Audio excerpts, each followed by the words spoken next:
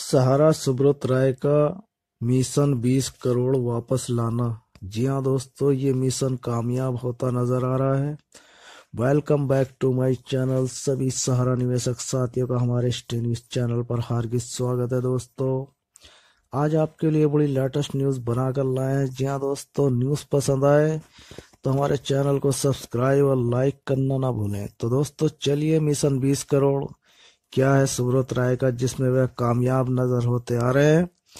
दोस्तों, सहारा में एक, सहारा सुब्रत राय ने एक सोची समझी रणनीति के तहत ये पैसा सेबी अकाउंट में डाला था और सेबी ने निवेशकों से बॉन्ड या पासबुक मंगाई और अपना दावा पेश करने के लिए निवेशकों से सेबी ने कहा, दोस्तों, सेबी विभाग ने ऑनलाइन पैसा वापसी सिस्टम से बीस हज़ार निवेशकों के ही बॉन्ड वहाँ पर सबमिट किए गए। जी हाँ दोस्तों, कुल बीस हज़ार अपने पैसे लेने के ही दावे से विभाग तक से विभाग तक गए और 105 करोड़ की ही देनदारी केवल से विभाग के द्वारा की गई।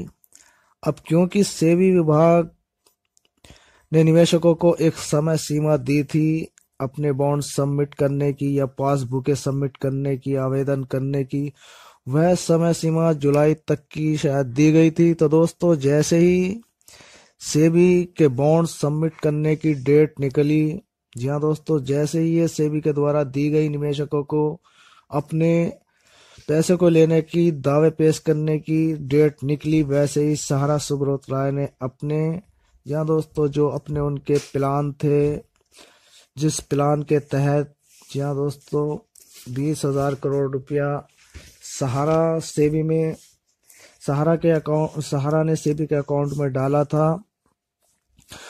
उस मिशन में वह कामयाब हो गया और उस रणनीति के तहत उसने निवेशकों के भुगतान के बारे में मीडिया में अपनी जहाँ दोस्तों, डींगे हाँकनी शुरू कर दी, जिसमें सेवी से ये कह, कहते नज़र आ रहे हैं कि मैंने तो आपसे पहले ही कहा था कि मैं निवेशकों का भुगतान कर चुका हूँ।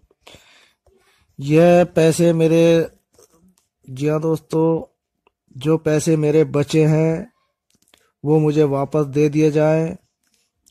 जहाँ दोस्तों, कुछ इस तरह की सुप्रीम कोर्ट को अर्जी डाली गई, क्योंकि वह जानता था कि इससे विभाग जो देनदारी के बाद जो पैसा बचेगा, वो सब पैसा मुझे वापस हो जाएगा।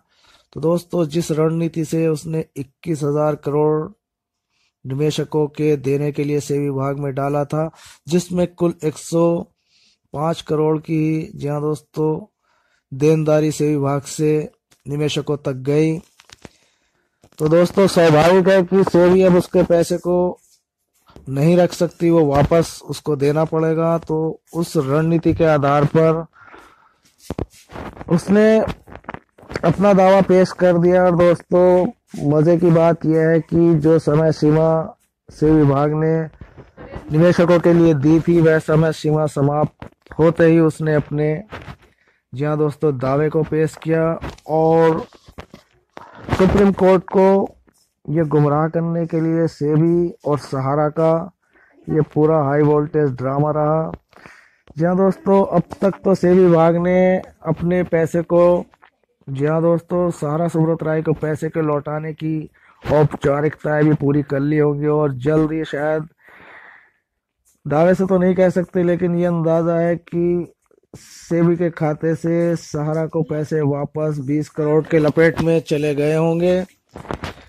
क्योंकि हम जानते हैं कि एक सोची समझी रणनीति के तहत ये सारा पैसा इस वक्त सहारा सुब्रत राय ने सेबी के अकाउंट में डाला था। उसे पता था कि कन्वर्ट कर दिए गए हैं सारे खाते तो पैसे लेना कौन आएगा? तो इसलिए जो भी इक्का दुक्का वहाँ पर पहुँचे, जो बीस हज़ार ही, जी हाँ दोस्तों, वहाँ पर लेने के लिए आवेदन गए, जिनमें से कुछ रिजेक्ट हो गए। जी हाँ दोस्तों, जिनमें कोई कमियाँ पाई गई, कुछ ऐसे भी वहाँ पर खाते वगैरह रुके और कुछ मिसमैच हुए, यानी कितने ऐसे खाते जो वहाँ रिजेक्ट हो गए। तो दोस्तों, वो सारी देनदारी 105 करोड़ की निकली और बाकी का पैसा जो उसकी रणनीति के, जी हाँ दोस्तों, सारा सुब्रत राय की जो रणनीति थी कि ये पैसा वापस भी आ जाएगा। जी हाँ दोस्तों, हमारे यहाँ कहावत है कि सांप भी मर जाए और लाठी भी ना टूटे।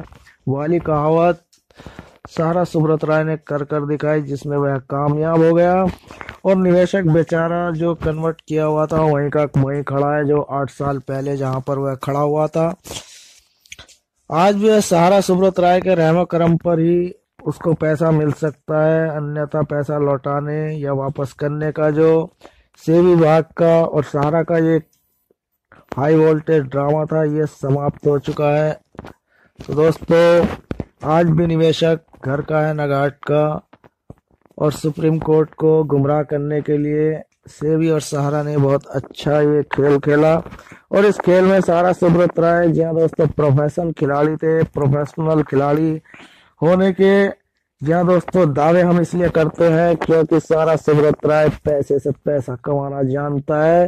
तो पैसे से पैसा कमाने की ट्रिक अगर सीखनी है दोस्तों तो सुब्रत राय के चेले बन जाओ। दोस्तों वीडियो पसंद आए तो हमारे चैनल को सब्सक्राइब और लाइक करना।